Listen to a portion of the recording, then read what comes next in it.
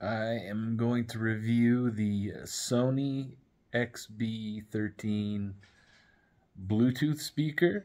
It is a really awesome little speaker. As you can see, it just fits in the palm of my hand. It's called the XB13 for extra bass, which I can attest to. This little thing, put it in the corner of the room.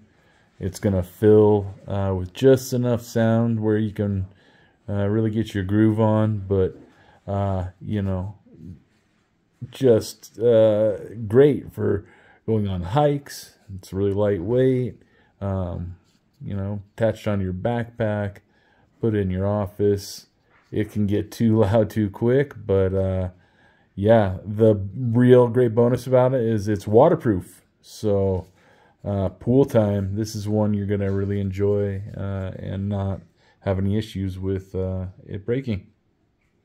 Sony XB13 extra bass.